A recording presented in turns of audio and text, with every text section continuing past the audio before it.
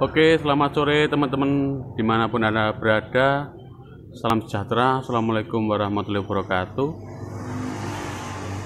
Terima kasih untuk teman-teman yang sudah uh, memberikan subscribe untuk channel ini.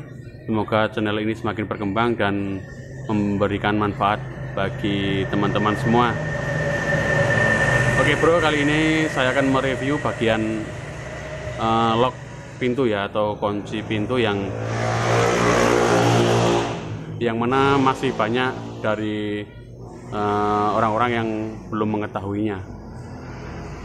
Oke bro, saya akan mereview bagian door lock ini ya. Ini di sini ada semacam selektor ini ya bro, untuk uh, yang berfungsi untuk uh, mengunci pintu ini agar tidak bisa dibuka dari dalam, walaupun bagian lock sini terbuka ya. Tuh. Oke bro. Jadi ini namanya ini bro. Child safety. Jadi child safety itu artinya ini pengaman pengaman untuk anak-anak bro. Jadi kalau uh, ada penumpang di tengah itu ya bro. Penumpang di bagian tengah itu anak-anak terus nggak ada yang jaga ya ini berfungsi untuk pengamannya bro jadi ketika ini nggak diaktifkan ya bro. Ketika nggak diaktifkan bisa bisa saja uh, secara tidak sengaja anak-anak membuka pintu ini dari dalam waktu mobil jalan bro. Itu kan bahaya ya bro.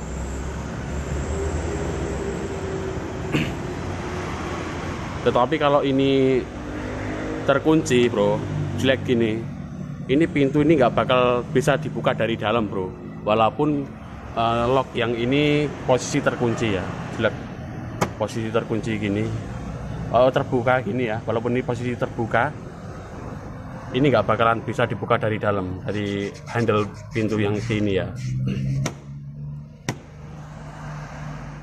Oke bro jadi coba kita langsung praktekkan saja ya bro. Nih ini jika ini posisi uh, tidak terkunci ya bro. Ini posisi tidak terkunci, terkunci ya kita praktekkan ini posisi tidak terkunci dan kita tutup pintunya. Ya. Jadi bisa saja anak-anak itu memainkan ini bro lock yang di sini. Ya. Ini kan bisa dimainkan sama anak-anak ini bro. Dan bahayanya ketika waktu jalan terus anak mainkan sini posisi terbuka ya.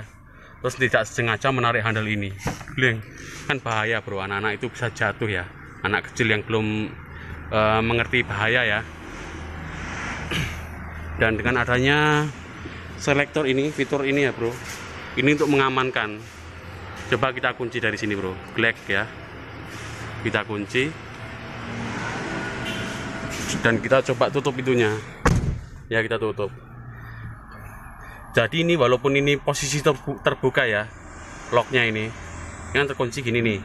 Nah ini terkunci terus walaupun ini posisi terbuka gini ini nggak bakalan bisa dibuka nih bro.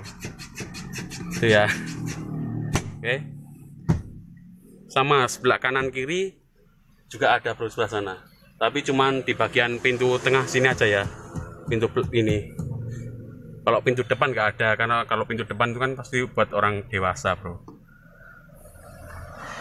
Jadi begitu sangat penting ya untuk mengetahui uh, bagian selektor sini tadi ya. Jadi sangat penting. Ini kalau dibuka dari luar bisa bro. Nah jadi kan nah dibuka dari luar.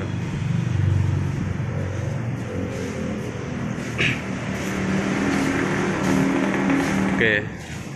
Jadi fitur ini penting sekali bro makanya ada beberapa kasus ya bro. Ada beberapa kasus uh, mobil uh, membawa penumpang anak-anak dan sendiri tidak ada pengawasan di sini ya di bagian kursi tengah ini. Ada beberapa beberapa kasus mobil lagi jalan itu anak-anak jatuh ya. Cara tidak sengaja jatuh karena ya itu namanya anak-anak bro kan nggak tahu bro. Mainan kayak gini kan ini nggak tahu kalau ini buat ngunci kan. Dia buka juga sengaja dia narik handle ini. Dan tentunya yang di depan kan apa namanya fokus nyetir bro. Untuk mbak-mbak mas-mas bapak-bapak semuanya ya. Terutama yang sering bawa anak pasti ibu-ibu itu ya. Bawa mobil terus anaknya ditaruh belakang anak kecil itu. Kalau tombol ini nggak diaktifkan atau di lock seperti ini itu sangat berbahaya